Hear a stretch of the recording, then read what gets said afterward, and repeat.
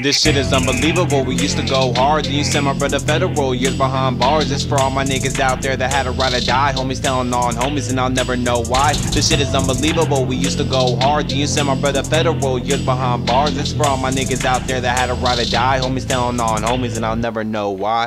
Free my bro. His name is Sizzo. Got hit by the popo for fucking the wrong people. You snakes need to really know how that shit feel. Trust issues. You wonder why people get killed. Blood spill, cause lip seal. That's real. I'm bout understanding. Y'all ride a line, acting like ride or die, but because of y'all, now my brother's in jail doing all this damn time. Friendships nowadays can lead to pin trips, so watch out for the ones you hang with. Real shit, they're the only ones that know shit. Friends can turn to witness real quick. Alright, I learned it. Learn to never rebuild, never reveal, especially to a female. You go more how you feel, how you feel. This she facing pin time, most likely she will squeal. You tell them close mouths, don't get fed until they open their mouth and you go fed. Bitch, only open your mouth if you giving head. When you gag, bitch, then that's enough said. Telling on your own people should be a crime. I miss my older brother, that dude used to shine. But if you shine, you'll end up attracting the wrong kind. And that's just what he did this time.